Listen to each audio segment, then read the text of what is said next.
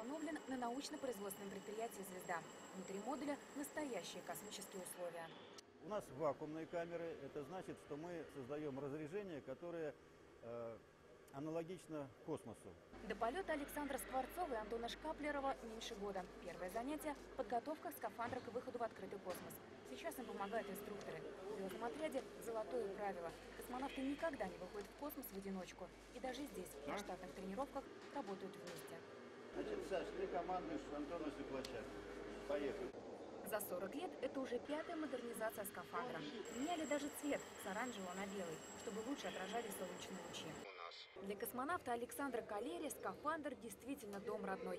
Четыре полета и пять выходов в открытый космос. И даже давать интервью в скафандре для него вполне удобно. На предприятие «Звезда», где, как говорят специалисты, строят скафандры, космонавта пригласили примерить и оценить новую спецодежду. Конечно, в невесомости попроще одевать его. Там вообще многое делать проще, потому что ты живешь не на плоскости, не на полу. Просто оттолкнулся и подлетел куда надо. От предыдущих скафандров новый «Орлан» внешне почти не отличается. В него также надо входить, как в дом, и закрывать за собой дверь.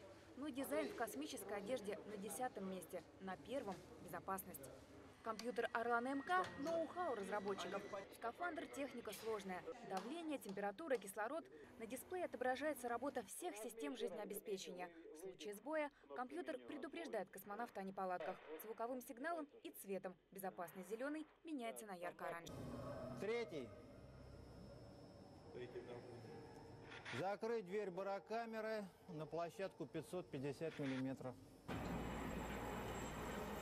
Площадка 550 мм – это высота 2,5 километра.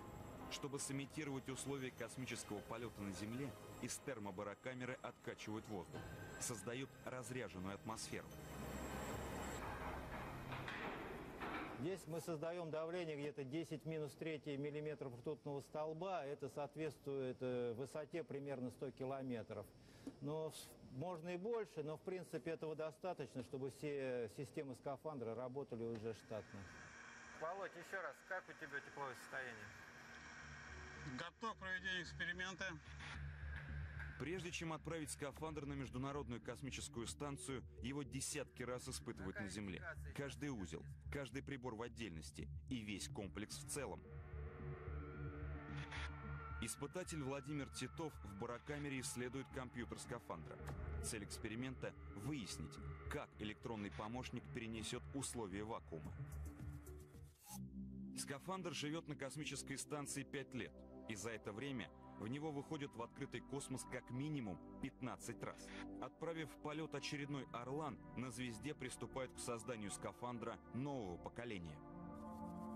Следующее поколение скафандров, оно, наверное, будет называться «Орлан МКС». Он будет модернизирован, там будет стоять несколько новых э, комплексов. Ну, например, новый измерительный комплекс, который уже на современной электронной базе собран. Следующая модификация компьютера для скафандра сможет не просто подсказывать, а управлять системами. Космонавту, к примеру, не придется постоянно следить за давлением, температурой и подачей воздуха в скафандр. Все будет регулироваться автоматически. Компьютер соображает мгновенно. Как только параметр вышел из допустимых пределов, тут же появляется сообщение на пульте скафандра.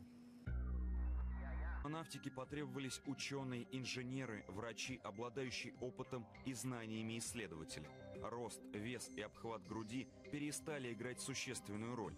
Главный критерий – опыт и профессионализм. Все те шаблоны, по которым краятся элементы конструкции скафандра, они претерпевают изменения. Вот для этого мы собираем так много размеров, чтобы поближе приспособить э, нашу конструкцию скафандровую к телу человека. То есть нужно, чтобы каждый элемент конструкции ложился на то место, где оно предусмотрено на теле.